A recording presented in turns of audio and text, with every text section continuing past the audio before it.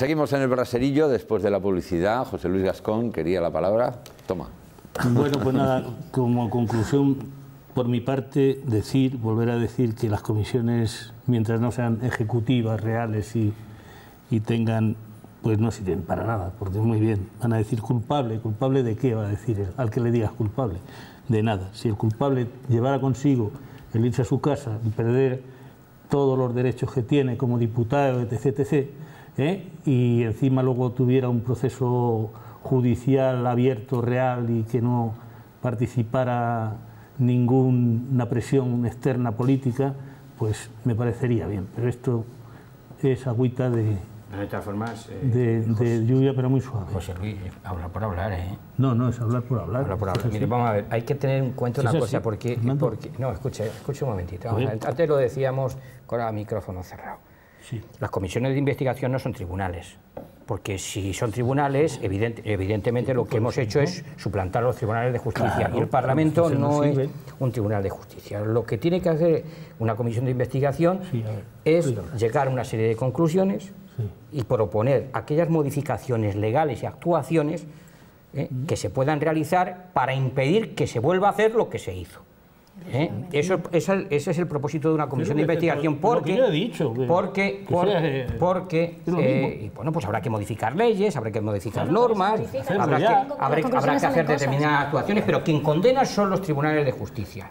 ¿eh? Y por tanto, pues yo espero que los tribunales de justicia diriman lo que, eh, eh, eh, lo que todos estamos pensando que deben dirimir, porque, eh, y ya no se trata de prejuzgar, es que es todo, Entonces, es que es, ¿para qué es que es todo tan, es dos que es todo- juicios paralelos? es ¿Para que no, qué? es que no es un juicio paralelo lo del Parlamento, no debe ser un juicio paralelo. Bueno. Eh, José Luis, ¿qué es lo que te estoy diciendo? Vais No a debe ser- demostrar, no luego si se demuestra, es que acusáis de algo y estáis demostrando. No, es un juicio. José- Vais a decir que se han financiado ilegalmente. Luego estáis juzgando José Luis, por y hablar más alto no des más razón, si es que Está. además lo ha descrito perfectamente. Ahí se Perfecto. dirimen las responsabilidades políticas y se sacan unas conclusiones para ver qué hacemos a partir de ahora.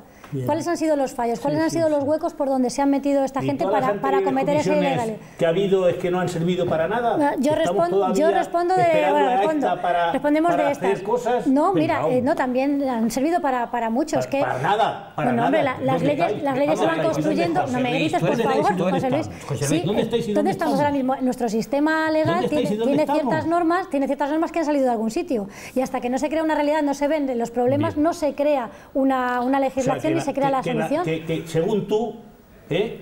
la Constitución española se está totalmente cambiada y demás, y habéis llegado. Pero si la Constitución es la misma. está cambiada, claro. está igual. ¿eh? ¿Y qué tiene que ver eso la con la, la- de las normas de Pero- la pero Constitución? ¿dónde, emanan dónde leyes, están y las las leyes normas que nos decretos. rigen el funcionamiento de todos Vamos los a- españoles? vamos a ver, No, eh, pero José Luis, vamos a ver. ¿O no? Vamos a ver. O no. Hay una cosa A muy lo mejor es que no, que la Constitución a española es José Luis, salen todo un lo papel- demás. Hay una cosa muy clara que yo creo... educados. Fernando y yo estamos aquí callados. No, pero hombre, yo creo No, que hay una cosa es que estamos debatiendo ya una cosa, se está yendo el debate hay un una cosa de... muy clara, si me dejas, y, y soy muy breve, y es que si, si evidentemente se han cometido delitos y ha habido corrupciones, ha habido corruptelas, ¿eh? Eh, obviamente es porque algo está fallando. Algo está fallando. Y está fallando en los controles. Y está fallando en las leyes. Luego, por tanto, la comisión de investigación tiene que decir, ha fallado este control, ha fallado estas leyes. Por tanto, tú lo decías lo antes, Fernando. En el 2017, cuando en el, en el, eh, 85 ya teníamos caso Malesa, caso Time Sport. Pues no, no eran ese año, eran 10 años después. Joder, años después. Eh, y, ahora hay que hacerlo, ahora no, sí. No, y no, se,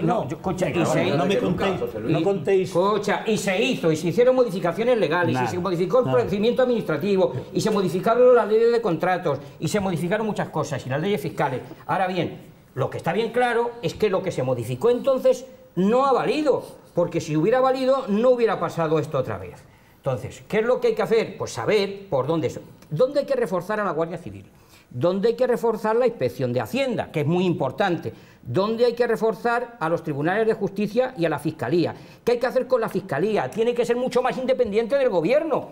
¿eh? Por ejemplo, los tribunales de justicia hay que, hay que reforzar, hay que reforzar su nivel, de su nivel de independencia. Hay que, hay que potenciar la transparencia en las administraciones, en las contrataciones, que tienen que ser públicas, que la gente Y pueda para eso hace falta una comisión de investigación. Sí, es una forma de trabajar, así es como funciona el Congreso. No, puedes entrar por mi parte cuando quieras. Entrar, entrar. Lo que hace falta es construir, el- hacer un libro de eso, por- para que la gente lo entienda claramente. Lo que hace falta es hacer un libro de eso, porque como decía Fernando, en su momento se hicieron normas que iban en contra de todo esto, pero eh, la mente criminal, para decirlo claramente, trabaja las 24 horas del día, entonces efectivamente, pero es que efectivamente es que eso ha sido así, el que ha hecho la ley ha hecho la trampa, pero porque le ha interesado hacer la trampa, o sea, le ha hecho la trama. eh, la trama y la trampa, efectivamente. Además, mira, yo voy a aprovechar para decir otra cosa que no, que no oigo por ningún lado. Yo desde aquí, pues quiero mandar una, pues un- una, eh, una- una- eh, por favor, por favor, que se utilice la dispersión de los presos preventivos, que no se acumule toda esta gente en la misma cárcel, en Soto del Real, porque ya están... ¿eh? Antiterrorista. No, no, no, hombre, No, lógicamente, lógicamente, claro, lógicamente, o sea, Comparar claro, datos. efectivamente, pero es que- trasladar pero es que ¿Tú- tú ya- cómo has evadido está- esto? Ay, qué buena idea, ¿no? Claro, se están produciendo ya contactos, ¿eh? y claro, y de ahí pues saldrán amistades y saldrán negocios, o sea, ¿eh? Claro, efectivamente, entonces la dispersión, Fernando, dispersión de presos ya, ya, o sea, dispersión de presos, de presuntos o de lo que sea, pero dispersión entre, el, re- entre todas las cárceles, de dispersión. Porque si no, pues además que es que este relato de Bárcenas que favorece a sus intereses, pues el resto de gente que está en su misma situación, pues por las cárceles, pues hombre, pues se pasea por el pasillo, pueden estar juntos en los talleres, pueden, o sea, eh, no, no, hombre, la vida carcelaria es la vida carcelaria, todo lo hemos visto en películas. Efectivamente, pues efectivamente. Y, y también pues, me gustaría apuntar lo que dice Fernando, ¿no? decirte que lo ven por la tele, o ¿Qué sea, todas estas cosas las ven por la qué tele. pa- qué- qué papel le vamos a dar a la Guardia Civil? ¿Qué papel le damos a la Inspección de Hacienda? Somos el país de Europa que menos inspectores de Hacienda tiene por habitante, que menos jueces tiene por habitante. O sea, todo eso se está produciendo y todo eso cada vez se erosiona más, porque como Fernando sabe que las tasas de reposición de los funcionarios dedicados a todas esas cosas no se cubren y entonces hay graves problemas para cubrir puestos importantes en justicia, en Hacienda y en, que en situaciones que realmente deberían estar mucho más dotados. Para eso sirven las comisiones de investigación, para construir el libro, el relato de lo que ha pasado, de quién lo ha hecho y de qué medidas tenemos que poner para que no vuelva a ocurrir. Y, y de todas formas, dentro de Para que 20 se años... ocurra, no lo descubra. Claro, efectivamente. Y dentro de 20 El años gordo de volverá. Ciertamente, se hagan las volverá- conclusiones y luego tiene que a haber voluntad. Claro, y dentro de 20 años probablemente vuelva, vuelva a ocurrir lo mismo. ¿Y por qué vuelve a ocurrir lo mismo, José Luis? Porque la mente criminal no descansa. La mente criminal está siempre, y lógicamente está, por muchos medios que pongamos, estará siempre un paso por encima de la gente de orden, ¿eh? Fernando, de la gente de bien. Entonces, claro, la policía, claro, sí, sí. Para compensar, somos el país que más corruptos tiene y no es casualidad el que más aforados tiene. Tenemos 10.000 pol- personas. verdad. No es cierto, pero bueno, No es verbal de cierto. culpo como No animal de compañía. Hombre, estamos hablando del entorno europeo. Yo no te digo que seguramente igual en No, Zimbabue del haber entorno más. europeo solamente cogiendo Pero- de, sí, de sí, Alemania para acá o... eh, Eh, sí, sí. Escucha, mira, mira, Macron lleva un mes y ya claro. cuatro ministros por corrupto. Os iba, a que- decir una cosa. Están deslegiti- deslegitimando a las instituciones desde el Partido Popular de una forma descarada. Pero es, fíjate, eh, han empezado, y esto lo sabe todo el mundo, eh, El libro imponiendo, de- imponiendo jueces. cuál es su libro. No, no, imponiendo jueces. Han impuesto jueces Eh, no, en pero las eso, altas eso, esferas. eh, te recuerdo que del Montesquieu muerto Sí, sí, no era sí, sobre sí. el partido, o sea, eso lo continuaron, pero el Montesquieu muerto creo que lo dijo un tal Guerra. Sí, seguramente, pregúntale a No, no Fernando era que lo ni de sabe. Lanza Popular. Pero que... No, no lo sé. Yo, yo cuando. Déjame acabar, por Dios, Fernando, que, Si que- quieres que hablamos- coges- hablamos que coges, que Montesquieu. coges el hilo. No, digo, imponen jueces en las altas esferas, asaltan las fiscalías. Y digo asaltan porque el fiscal general, está claramente al servicio de- del Partido Popular y el fiscal anticorrupción se ha demostrado El que- Popular del gobierno, sea, quien del sea. gobierno, del gobierno. Que a Pablo Iglesias le parece muy bien si gobierna él. Seguramente, seguramente. anteriores Pero si no discuto No, pero eso, eso- yo no, hablo de, y de que según tu tu propio partido- y, hu- y hubo comisiones de investigación. Claro, y según tu propio partido lideras, igual, eso, os parece bien y a los él le gusta si el gobierno sois vosotros os si gusta. dejas acabar, las leyes, Bueno, no, pero las leyes para apuntar. las están haciendo a medida, a medida, para recortar, por ejemplo, los, los tiempos de, de- de- de solución judicial. Es decir, están haciendo una verdadera escabechina ética, como tú decías, Fernando. Bueno, eso yo no sé si ha sido una torpeza, porque lo de los seis meses, Bueno. en vez de no doy medios y doy seis meses para una instrucción, si no es una torpeza, yo de verdad no lo entiendo. Tú piensas que no dan puntada sin hilo. No, hombre, yo creo que no dan puntadas sin hilo, pero en ese caso ha sido tan tan absurdo y tan cantoso que yo creo que ha sido una torpeza. Una, torpeza absoluta, porque no solamente es para sus casos, es para todos los casos. Sí, es claro, que prescribe ver- absolutamente todo. Si tú no das miedos, pones además lo del papel, que todo- cualquier abogado te dirá que ha sido una... Quitamos el papel pero no damos el medio, no ponemos el ordenador, pues entonces nos quedamos igual y luego lo restringimos a seis meses, no solo para casos de, de corrupción, para cualquier caso. Ningún juez llega. O sea, Y ha tú sido un absurdo. Y hay prórrogas y Elena, prórrogas y al final no se cumple Como tú tampoco. también has dicho, Orlena, que la asignatura que ha pronunciado la palabra efectivamente está Pero si funcionando. algunos, si algunos van a salir porque ya están en la cárcel preventiva, Claro. antes del juicio, el máximo, van a cumplir el máximo. Claro, cumplen el máximo y tienen que salir, encima les indemnizamos. Pero quizá por eso viene un poco el querer acortar los procesos, los procedimientos, porque Pero es que, si no... no, pero es que están acortando la Es instrucción, es que es acortar los absurdo. procedimientos si quieres terminarlos. Si, No, no, si quieres archivarlos, desde luego... La- eh, claro, y la mejor forma para cortarlos Pero es dotar de medios, dotar jueces, medios, más, dice. secretari- más, jueces, más secretarios judiciales y, y sistemas de informáticos que funcionen, que eso de la Junta sabe también bastante, creo. ya la suerte. Fernando, eres el pozo de sabiduría pero central no sé por qué. Porque eres politólogo. Debe ser eso. Si no tenemos las competencias de justicia aún, No ¿no? tenemos la pero eso. No, no, no, pero yo, yo Renunciamos a de, otros programas, otros programas como para las bolsas de empleo sanidad No, y cosas así. Digo, los programas informáticos en general están muy bien, te- te- pero tienen que funcionar. tienen no mezclemos la justicia con otra No, no, historia. Cuando hablemos de otra historia, hablamos de otra historia, porque Vale, si no, la- los ciudadanos ríen de, de qué hablan esto. Para no mezclar, y lo que decía antes Fernando, o sea, que le cuelguen todo el, que le metan todo el marrón a- a- al por de la puerta, que está pasando pues una etapa de, de demencia senil seguramente sobrevenida, no sé si también influido por la situación. Lo cierto es que esto es la, la táctica de, de- ¿cómo era aquel hombre, aquel, aquel chavalillo que... fuera. No, no, no, no, me, me estoy refiriendo a, es que no recuerdo el nombre, un, unos chicos de Sevilla que le metieron el, el marrón de una muerte por atropello, por no sé qué, porque era menor de edad, ¿no? Pues en este caso sí. concreto, no recuerdo el nombre, en este caso concreto han hecho la misma historia, o sea, es decir, vamos a echarle todos la culpa al que no se puede defender Bueno, y al que no tiene lo- lo responsabilidades. intentan, a ver cómo Bueno, sale. pero no tiene responsabilidades penales, es decir, esto es lo, esto es lo sencillo.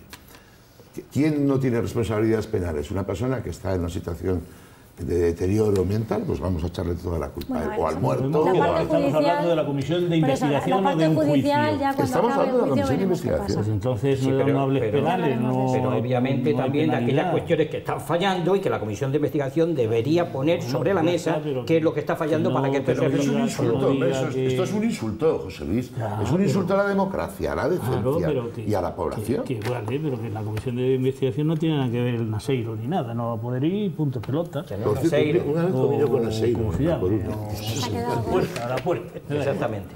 El Naseiro era el otro. Eh, Bueno. ¿algo más que añadir sobre este tema? Yo creo que ya está. Bueno, Cambiamos de eh, asunto. podríamos estar hablando hasta el final Sí, y seguir pero cinco es que programas hay- más. pero- Figúrate. Pero Si empezamos a sacar casos diferentes, de. Nos vamos a Inglaterra, eso te afecta. Toca hablar has dicho Hoy hace de 112 déficit. años el motín del Potenkin. Yo creí que íbamos a hablar de eso, pero creo que no. te has traído del pote. Yo nada, yo nada. Era dándole Bueno, ideas hablado ya del DNI de, Buena cinco- película. de- de ciertos años, un mínimo de años, ¿no? Para que Claro. puedan obtenerlo. Vamos. Mm, Pero bueno, efectivamente Inglaterra va a poner una condición de cinco años de, de estar en, en el país para poder seguir allí. Pero no solamente va a poner esa condición, pone otras bastantes y varias y muchas que mucha gente de la que está allí trabajando no va a poder cumplir. Entre ellas tienen un examen de inglés, no el clásico B2 y B7, porque tú puedes tener el B57 ¿eh? y no tienes ni repajolera idea de lo que es el inglés. Es hablar. Y entender la tele. ¿eh? Efectivamente. Entonces te ponen con un señor y, y es el que va a decir sí o no. Entonces van a poner una serie de condicionantes bastante jorobados para mucha gente, que ahora no había. Ahora tú ibas con tu DNI, no con el pasaporte, y te podían contratar perfectamente y allí ibas aprendiendo tu, tu poco, tu mucho inglés, que muchos padres han mandado a hijos allí o, o hijos que se te han ido a trabajar allí porque les ha interesado y porque tal, eso ya no va a poder existir. Y en cuanto a lo positivo de- de- del Brexit que puede tener para, para España, para todos nosotros, es como la City se va a desmontar y se está desmontando, que alguna de las migajas de la City nos llegue y que se hablan a lo mejor de, de 30 o 40 mil nuevos empleos, se habla de, de algunas cifras que pueden ser interesantes para nuestra economía y para nuestro paro y demás. Pero en cuanto a, a- a lo de los cinco años, eh, claro, lo mismo que haga la señora, aquí se va a tener en Europa que hacer lo mismo. Y se les va a pedir a ellos igual.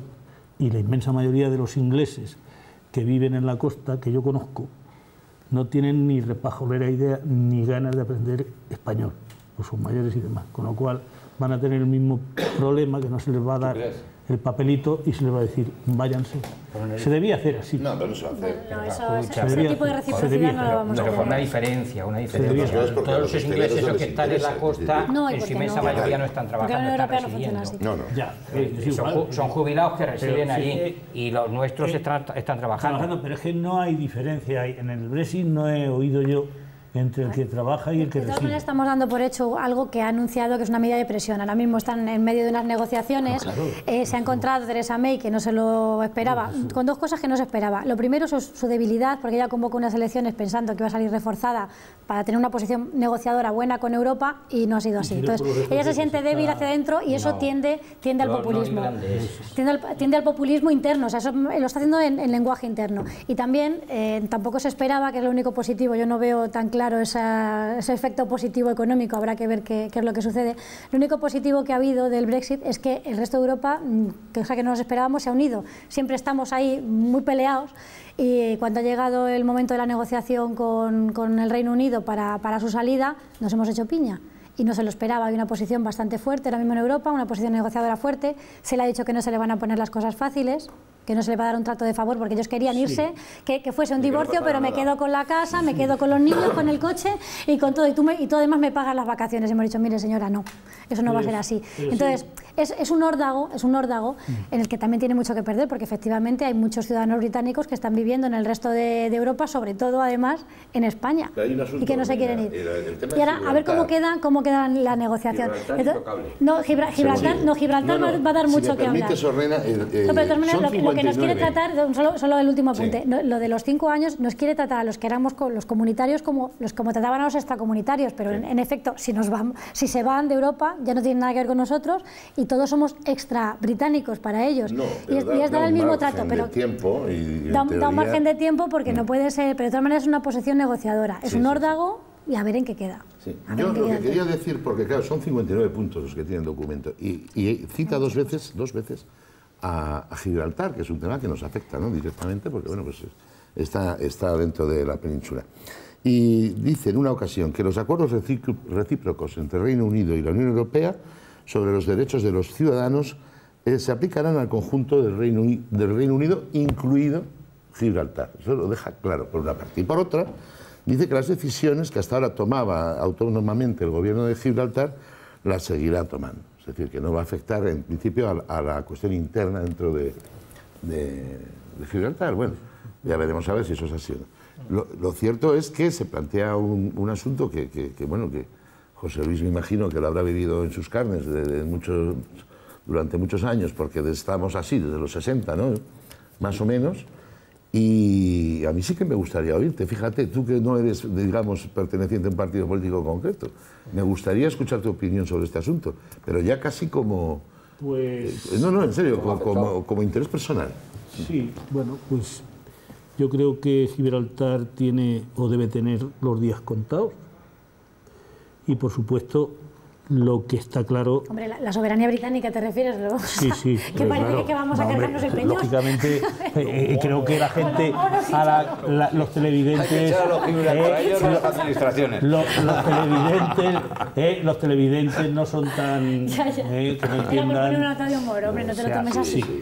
Hay que echar a los gibraltareños de las administraciones, José Luis. Efectivamente, eh, pero efectivamente las administraciones, por eso digo que tienen los días contados, porque las administraciones eh, lo que quiere seguir haciendo el señor Picardo es de su capa un sallo y, y eso no va a poder ser, porque se está entrando en el global, como bien tú has dicho, del Reino Unido.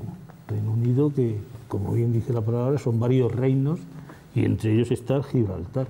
Un reino que une a varios, a varios Exactamente. país. ¿eh? Es un reino que reúne a varios es País, países. Efectivamente. es Entonces, ya te digo, lo que, lo que sí que no se puede negociar como ellos quieren. O sea, vamos a negociar con España y vamos a meter también, no. Entonces, ¿qué hacemos? ¿Otro tratado de Utrecht? Pues no, otro tratado de ustedes, no, una, una, una, un, un gobierno compartido de la roca. Pero eso parece que va a ser que no. ¿Y los monos para quién? Y los monos países. Eso parece que va a ser que no porque ellos no quieren. Han estado pidiendo la autodeterminación los llanitos hay hasta que, hace hay, que, hay que días. tener en cuenta que la inmensa mayoría de los gibraltareños, la inmensa, viven en la línea. Pagan impuestos En la línea, y- y en Málaga y en Marbella. Sí, pero sobre todo Entonces, alrededor de... alrededor lo, que, de- lo que está claro es que ellos lo que no quieren perder es la tajada buena del otro lado. Claro. Aquí no hay tajada buena ni Esa es, nada. esa es la clave. Ahora, ¿qué es Claro, lo- ¿qué, es lo, que va a cambiar en, en- en Claro, Gibraltar? Lo que cambia es que Entonces- Europa antes era un paraguas y estaba de perfil con este tema Claro. con respecto a nosotros. Estaba de perfil y Claro. no quería meterse porque eran dos estados de- miembros de la Unión Europea que tenían un conflicto. Entonces no se quería meter. Ahora, ¿qué pasa? Si tú te has salido, ahora yo defiendo a mi estado que está dentro. Defiendo los intereses de mi estado. Antes te hacíamos un poco de paraguas. No, vea, no, se hacía la, no voy a decir que se hacía la vista gorda, pero todos sabemos que, cuál es la actividad económica en Gibraltar, que había muchas cosas que no, es- no están exactamente dentro de la legalidad europea que se hacían en Gibraltar y ahora a lo mejor pues inspecciona, que se siguen haciendo. Y ahora quizá si estás fuera te inspecciono. Y a lo mejor ahora eh, Picardo que ha dicho que yo soy inglés, yo soy inglés, vale, tú eres inglés, mientras te interese, a lo mejor te deja de interesar Pero inglés y español. ya, y ya Pero inglés hablamos, español, y ya hablamos inglés de, otras pues cosas. repartir. Claro, un, un inglés de su zona, de la zona, como para hablamos apuntar, para zona. apuntar alguna cosilla, bueno, pues en primer lugar, pues yo lo que sí que quiero poner en reflexión es si está en disposición el Reino Unido y sobre todo Teresa May de imponer condiciones para negociar. Eso es lo primero. Pues ¿eh? sí. En segundo lugar, pues me gustaría saber cuándo van a empezar de verdad el Reino Unido a irse de la Unión Europea, porque el referéndum de Brexit yo creo que eso ha pasado ya un año largo desde, desde entonces. Es un div- o sea, un divorcio de un país de una, unión es muy, muy ya, ya, complicado ya, y no pero, se puede hacer de un día pero- para no, otro. no, sí, sí, estoy de acuerdo, pero, evidentemente se pero está cuando, negociando. no, se está negociando, no, ¿cuándo han empezado las negociaciones? No, pues- hace muy poco, hace muy poco, hace unos meses, Claro, porque convocó hace unas muy poco elecciones. tiempo, hace muy Pero, poco Fernando, porque convocó unas ya, ya, ya, elecciones. pero es que, a ver, o sea, No se es puede hacer una ¿cuánto tiempo va a durar este electoral? periodo transitorio de me voy pero me quedo, estoy pero Pues no eso estoy? También se ¿Cuánto negocia. tiempo va, Eso también va- se está eh? negociando. Eso por un lado. Luego sí también pues, me gustaría pues, explicar un poco, eh, no sé, eh, los conservadores británicos, que es que yo no sé quién, quién les asesorará en sus políticas, porque vamos, convocaron, ¿eh? Claro, convocaron un referéndum, se convocó un referéndum en Escocia y a los escoceses les metieron miedo diciendo que si votaban que sí iban a salir de la Unión Europea.